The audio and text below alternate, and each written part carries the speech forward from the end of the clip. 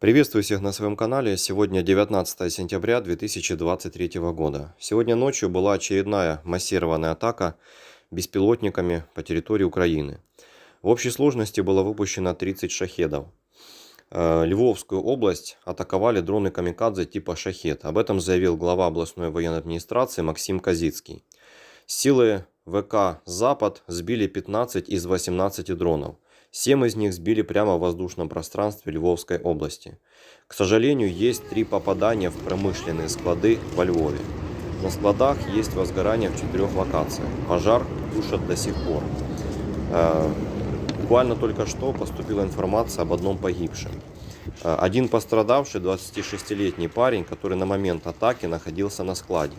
Его госпитализировали. Он находится в состоянии средней тяжести – также на месте была женщина, в госпитализации не нуждалась.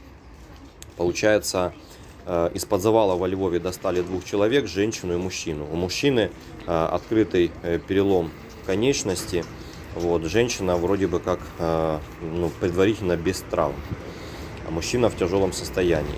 И вот буквально в 10 часов сообщили о том, что во Львове под завалами нашли тело погибшего мужчины который работал на складе. Об этом заявил мэр города э, Андрей Садовой. Э, в Одессе тоже работало ПВО, нас сбили один шахет, то есть на Одессу летел один шахет. Хотя была информация там немножечко э, о том, что ну, на Черноморск летят, но вроде бы как только на наш регион один шахет летел, его успешно сбили. Подписывайтесь на канал, до встречи, пока.